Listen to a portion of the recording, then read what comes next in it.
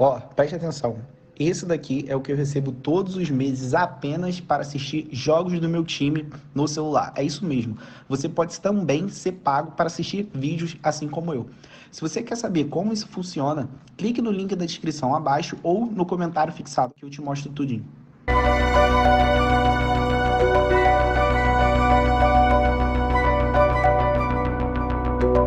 Que, despertou esse olhar, sabe, pra esse lado mais artístico? Tem alguém na família? A história é engraçada. Eu comecei a fazer teste, atuar, né, com cinco anos. Atuar fazendo publicidade ainda.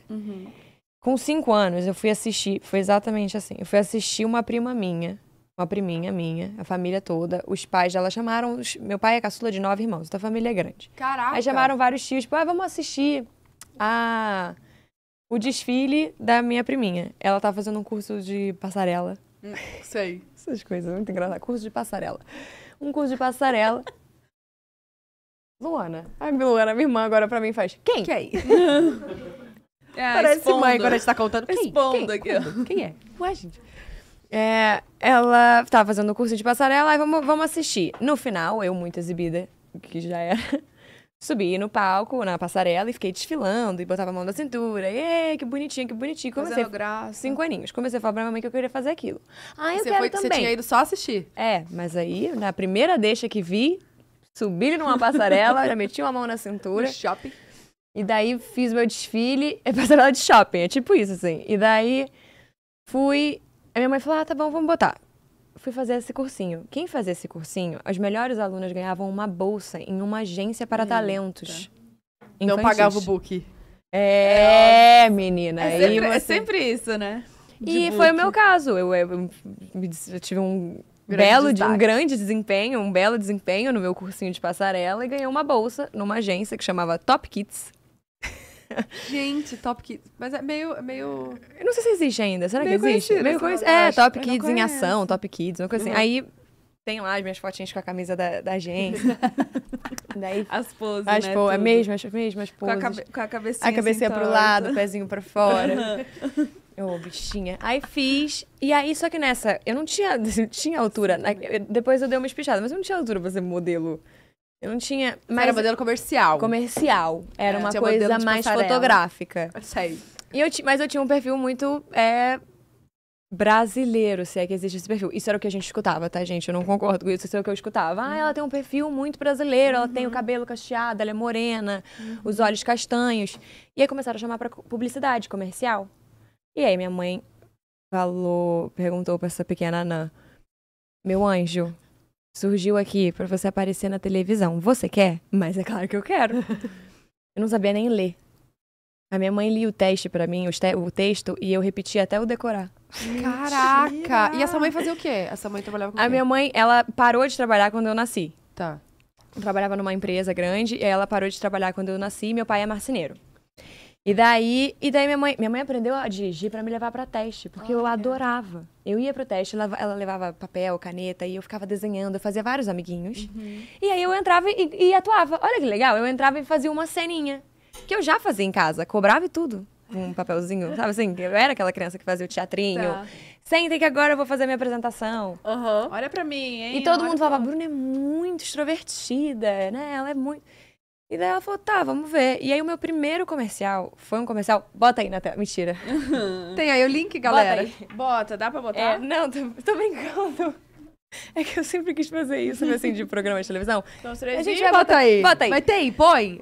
Não O tem. meu primeiro comercial. Pior que tem. É, se você botar no YouTube, Bruna, é, Polícia Militar de São Paulo, primeiro comer- comercial. Meu primeiro Esse, comercial. Você já viu? Aham. Foi um Ah, comercial você pra. já postou. Não, ih, tem devia. Não, já, já- Alguém postou. Eu acho que já postou sim. É, Não? Pode ser. Esse aí. Ai, gente. tô- Sim! Bota do início. O comercial, o nome depois virou. Era filha e virou Bruna. Esse Ah, foi meu tá. primeiro comercial. E o diretor. Só preciso falar isso. O, prime- o diretor desse comercial, ele fez mais dois comerciais comigo. E ele, depois desse comercial, esse comercial eu fui eu- nessa agência, chegou o teste, fiz o teste, todas, várias crianças. No final do teste mesmo, eles já anunciavam. Eles anunciavam, teste pelo menos, não sei se até hoje é assim. Melhor eu parar? Não, pa- pausa aí rapidinho. É. Aí. Porque é, é interessante essa. Eu fui, fui fazer, eu comecei, é, fiz o teste. eles anunciavam no final do teste mesmo quem tinha passado. Não sei se até hoje é assim. Nossa, A- não. Na maioria das vezes, assim. Alguns não, alguns tinham uma demorinha, mas tinha uns que você- eles saíam da sala, ficava todo mundo esperando e falavam, fulaninho passou. Nossa. E daí era um menino, só que ele tinha quatro. E aí eles falaram, a gente, quem passou foi o menino, ele tem quatro anos, e a gente vai levar outra pessoa de stand-by. Porque a gente tem medo que ele trave na hora. E é a Bruna. Então eu fui de stand-by. Cheguei lá, com meu pai e minha mãe, fiquei esperando.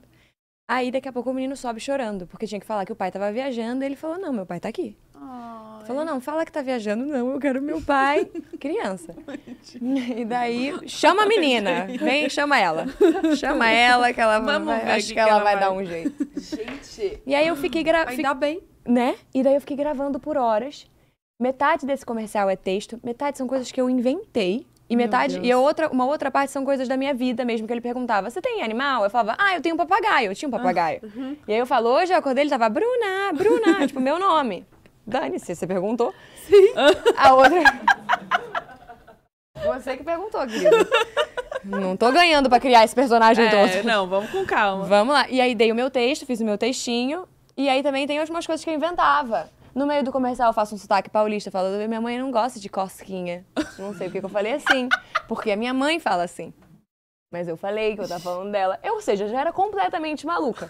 Completamente formada já. louca. Amor, pronta. formada. Pronta, vai pra Globo. Doida. E daí, e daí eu fiz, e aí ele, quando terminou, ele ficou muito chocado. Ligou pros meus pais. Esse, o nome dele ele chama, ele chama Roberto. E eu tenho um carinho por esse cara. Porque ele chamou meus pais pra assistir o Bruto. E aí ele falou assim: olha, eu queria, eu queria chamar vocês porque vocês tinham que ver isso. E porque se vocês é, enxergam isso como um futuro vi- pra filha de vocês, podem investir. Ela se sente muito confortável, como poucas crianças se sentem. Ela adora o que ela tá fazendo. Então pode. Nossa, Ela, que arrepiando. e daí, então eu tenho um carinho muito grande por ele. Tinha uma hora que eu falava assim, minha mãe falou, isso não entrou, que, ela, que ele falava assim, o que, que é tristeza pra você? Pra você ver como ficou profundo o nosso Nossa. papo. Meu Você chorou? Deus. Não, mas Chorou? eu fico emocionadinha, assim. Emocionadinha. Aí ele, o que, que é tristeza? E a minha mãe disse que eu respondi, tristeza é uma coisa muito triste mesmo, querendo chorar. Eu, caralho, é doida. Ela é louca, essa criança que eu tô criando. Ela é louca. E daí, ele... Tipo, defina a tristeza. É uma coisa muito triste mesmo. E depois eu fiz mais dois comerciais lindos com ele. E foi assim que eu fui tomando gosto pela coisa. No meio disso tudo, eu fiz um, um curso com a Sininha de Paula, que quando foi dirigir Gente Inocente na Globo, me chamou pra fazer Gente Inocente. Daí eu já tava na Globo. Daí a gente pegou esse material, esses comerciais, e começou a deixar lá dentro. Até que o, o Ricardo Watson olhou pra uma fita minha e falou: ela parece a Vanessa Gerbelli e ela é boa. E eles precisavam de uma filha para Vanessa Gerbelli. Tem várias histórias desse comercial também, por exemplo. Esse comercial ele só passou em São Paulo. É um comercial para a Polícia Militar de São Paulo. Aham. E esse comercial, ele falava sobre suicídio. É é um comercial super. A temática é super pesada, assim. A criança não sabe que o pai se suicidou, mas ele se suicidou. E aí era, um, era uma campanha falando sobre suicídio. Estava tendo uma onda muito forte de suicídios dentro da Polícia Militar. Então ele só passou. Só que isso era em São Paulo, então ele só passou em São Paulo. No Rio, ele só passou no Jornal Nacional. As pessoas, sabendo que meu pai era marceneiro, elas ligavam pra minha mãe pra perguntar como é que ela tava. Porque você passou muita confiança ali, como se fosse você mesmo, É, né? e aí, e esse comercial virou meio que, assim, pra muita, muita gente, até hoje eu posto foto com meu pai e falava, mas o pai dela não era policial? Meu Deus. E tinha essa. Eu falo, gente, tá repreendida no lado, em nome de Jesus, ele tá ótimo. Ele tá vivo. E então ele teve um impacto, assim. Ele foi premiado depois, anos depois eu não, não sabia. E daí foi, um, foi, foi esse material e um, materi- um outro material de vários comerciais que eu fiz que, que, que, eu, que eu fui deixando lá dentro da Globo, assim, foi meu portfólio. E ele, então, ele tem um lugar muito especial, assim, no meu coração. E dentro da Globo teve também uma história de... Tem, tem, eu tenho vários padrinhos, assim, desse início. E um deles, lá dentro, é, que eu tenho um carinho enorme também, dentro da casa, falou... Não, isso, isso não pode ir pro ar. Alguém falou pra ele, isso não pode ir pro ar. Ah, Agora eu vou contar a história errada, porque eu me esqueci. Mas enfim, alguém falou que não podia ir pro ar o comercial porque eu ia descobrir que meu pai tinha se suicidado. E daí, acho que foi assim que ele descobriu, não, ela é atriz. Não, não pode ser, se essa menina é atriz, ela precisa trabalhar. Ela precisa começar a fazer novela, precisa... Eu tenho vários padrinhos, assim, então esse comercial é bem especial pra mim. Nossa, cara. Põe aí, Manu, do please. comecinho. Quantos anos você tinha? Cinco? Cinco.